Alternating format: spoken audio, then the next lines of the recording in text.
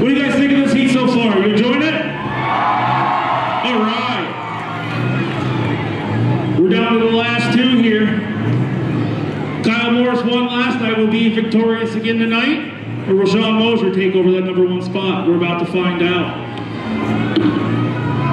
We're ready on the left. We're ready on the right. Let's go, guys.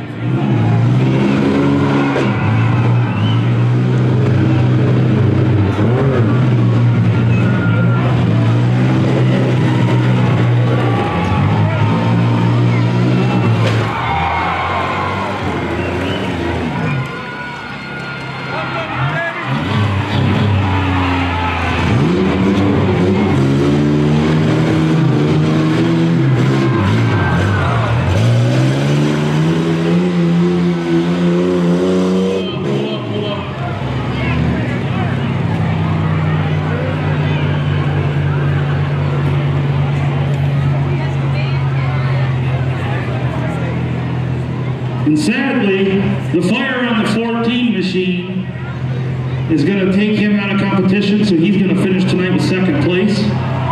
First place goes to Kyle